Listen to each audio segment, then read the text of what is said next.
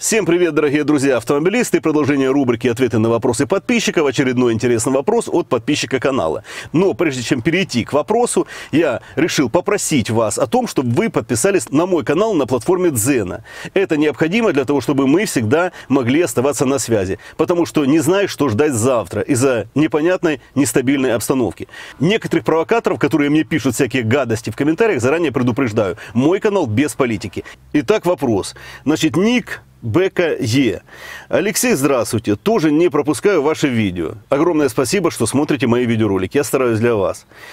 Сейчас еду прокачивать стойку на Камри 50, на 50 Камри.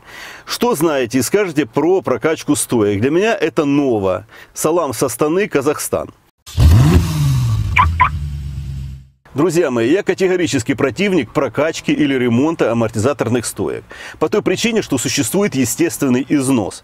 Все эти ремонты, все эти прокачивания как мертвому припарка. Вы только на какой-то незначительный промежуток времени продлеваете жизнь уже убитой вашей амортизаторной стойки. Просто так амортизаторная стойка не умирает. Конечно же, многие сейчас скажут, что того, там резиночки пересыхают, их заменили и все. Друзья мои, а как же нарушение поверхности, шероховатости, царапины и прочее, которые неизбежны неизбежно появляется в процессе эксплуатации амортизаторных стоек или амортизаторов. Конечно же, оно никуда не денется. Некоторые скажут, что их протачивают, прополировывают, но это абсолютная ерунда. Друзья мои, когда наша амортизаторная стойка выходит из строя, ее необходимо менять, но никак не прокачивать. Все эти прокачки это абсолютное разводилово на деньги. Вы просто выбросите кучу денег за это, а потом через какой-то промежуток времени вам все равно придется менять вашу амортизаторную стойку. Не занимайтесь ерундой, не тратьте на это время.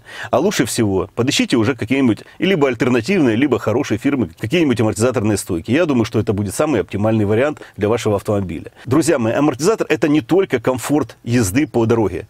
Амортизатор отвечает за сцепление наших колес дорожным полотном. А это наша безопасность. С плохими амортизаторами тормозной путь увеличивается значительно. И вы наверняка об этом знаете. Итак, вердикт. Не надо заниматься всякой ерундой. Стойки износились, и пора их менять на новые. Никаких прокачиваний. Это вам не грузовик отечественного производства, где можно разобрать, масло вылить, другое масло залить и на какой-то промежуток еще времени покататься на автомобиле. Современные амортизаторные стойки работают совершенно не так.